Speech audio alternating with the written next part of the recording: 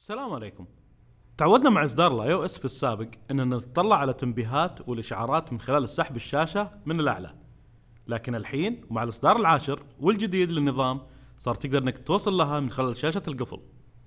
وغير التنبيهات صار بالإمكان إنك تستخدم التطبيقات المصغرة مباشرة من خلال سحب شاشة القفل إلى اليمين.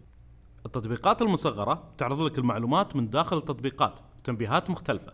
وتقدر من اعدادات الجهاز إنك تختار التنبيهات اللي يعرض لك إياها لما تقفل الشاشة.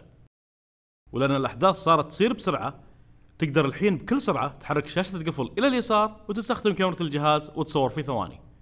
شكرا للمتابعة مع السلامة.